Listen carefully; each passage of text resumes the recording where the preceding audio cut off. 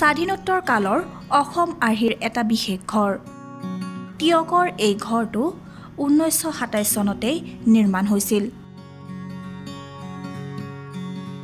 প্ৰয়াত মুক্তিনাথ শৰ্মাৰ এই বাসভৱনতেই ডাঙৰ হৈছিল তেওঁৰ চাৰি পুত্ৰ তেওঁৰ চাৰি পুত্ৰৰ ভিতৰত অন্যতম আছিল কনিষ্ঠ পুত্ৰ ইন্দ্ৰনাথ শৰ্মা। লাহিং অঞ্চলৰ আধুনিক শিক্ষাৰ অন্যতম বাটকটীয়া ইন্দ্ৰনাথ শৰ্মাই এই অঞ্চললৈ আনিছিল এক বিশেষ যন্ত্ৰ। হয় তেতিয়া ব্ৰিটিছৰ আমোলত ৰেডিঅ' ক্ৰয়ৰ বাবে প্ৰয়োজন হৈছিল অনুজ্ঞাপত্ৰ আৰু বছৰি পঞ্জীয়ন কৰিব লাগিছিল। ইন্দ্ৰনাথ শৰ্মাই অঞ্চলটোত প্ৰথম ৰেডিঅ' ক্ৰয় কৰি এই গৃহটোৰ এটি কোঠাত আছুতীয়াকৈ ৰাখিছিল। স্বাধীনতা যুঁজাৰু ইন্দ্ৰনাথ শৰ্মাই ঊনৈছশ ঊনষাঠি চনতেই প্ৰতিষ্ঠা কৰিছিল মাছকুৰি মইনা পাৰিজাত। এই ঘৰটোৰ পৰাই শিশুসকলক লৈ অসমৰ লগতে অসমৰ বাহিৰতো অনুষ্ঠান পৰিৱেশন কৰিছিল ইন্দ্ৰনাথ শৰ্মাই।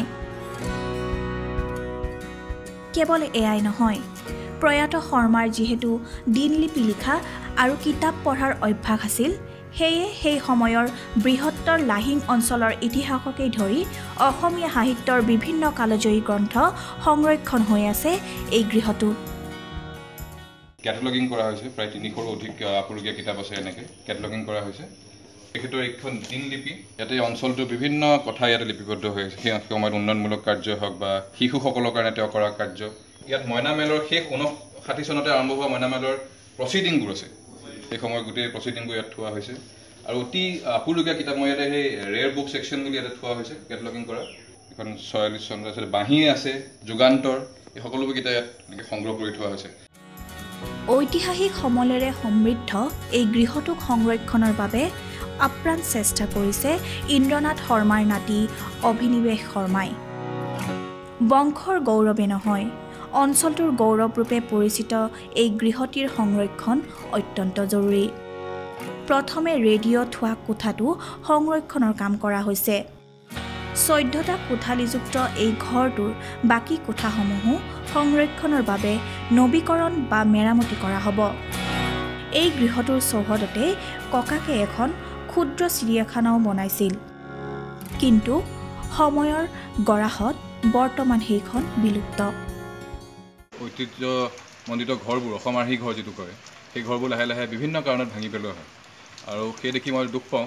আৰু দুখ পাই পেলাই মই সদায় ভাবোঁ যে এই ঘৰবোৰ যদি সংৰক্ষণ কৰি ৰখা হয় অসমৰ এটা ঐতিহ্য সংৰক্ষণ কৰা হ'ব। কিন্তু আমি এটা নিজাববীয়াকৈ বিশেষকৈ ভাইটি আৰু মই মিলি পেলাই আমি ডাঙৰকেইজনৰ পৰামৰ্শ লৈ পেলাই আমি ভাবিলোঁ যে আমাৰ যিটো গাঁৱৰ ঘৰ সেই ঘৰটো যদি সংৰক্ষণ কৰি ৰাখিব পাৰোঁ মই ভাবোঁ আপোনাৰ আমাৰ এটা প্ৰচেষ্টা আমি ল'ব পাৰোঁ সেই হাতত। আৰু এই দেখি পেলাই আমি নতুন প্ৰজন্ম পেহী বৰদেউতা জেঠাইহঁতৰ ল'ৰা ছোৱালীবোৰ সকলো মিলি পেলাই সহযোগত আমি এই এই ঘৰটোৰ প্ৰথম ফেজ যিটো ফেজ ৱাইজ আমি কৰিছোঁ সেইটো আমি তাৰ হাতত প্ৰচেষ্টা আমি হাতত ল'লোঁ।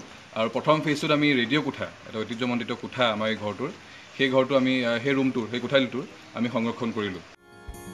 লকডাউনৰ সময়ছোৱাত অভিনিৱেশৰ নেতৃত্বত পৰিয়ালৰ বহুকেইজন উদ্যমী নৱপ্ৰজন্মৰ আপ্ৰাণ চেষ্টাত এতিয়া ক্ৰমান্বয়ে প্ৰাণ পাই উঠিছে ঐতিহাসিক গৃহটোৱে। লগতে অসমৰ বিভিন্ন প্ৰান্তত থকা ঐতিহ্য বহন কৰা এনেধৰণৰ গৃহসমূহ সংৰক্ষণ কৰি অসমৰ ঐতিহ্য অক্ষুণ্ণ ৰাখিবলৈও সকলোকে আহ্বান জনাইছে।